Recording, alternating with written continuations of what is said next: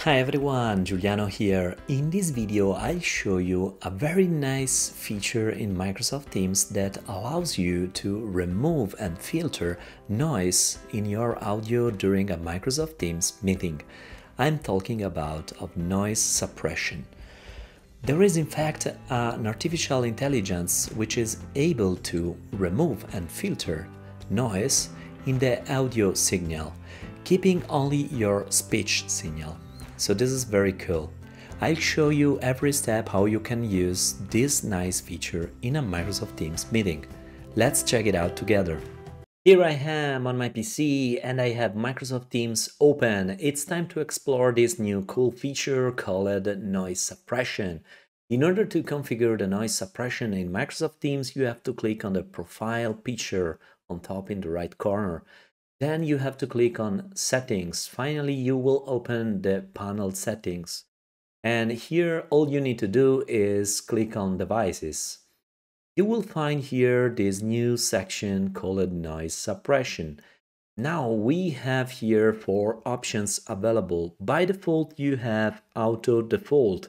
And this means that the Teams apps decides on the best level of noise suppression based and according on your local noise. Then we have high. This high suppresses all background sound that isn't speech, but this consume also more computer resources. Then we have the third option, low, and this suppresses low levels of persistent background noise, such as computer fan or air conditioner. Use this option if you want to play music.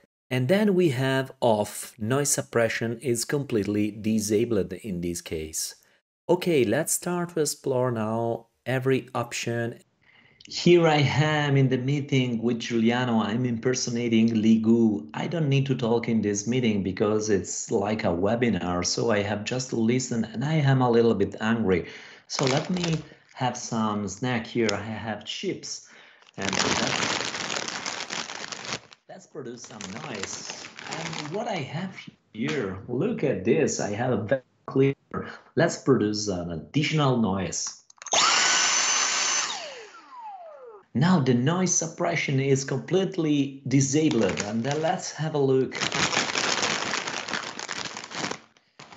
Again with vacuum cleaner. Now noise suppression is set to low, so you can play music in this case, but let's produce again noises.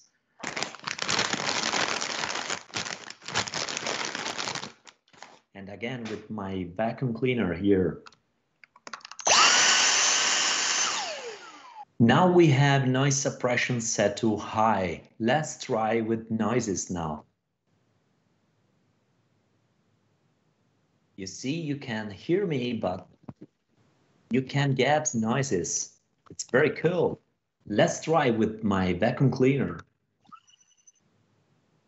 Oh, it's very cool and powerful, this kind of set.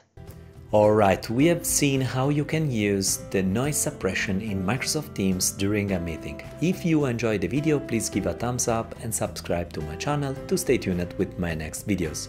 If you want to see me cover any other topics in the future, put a comment down below, I read them all and this is also how I build my to-do list for my next videos. I hope to see you next time. Bye!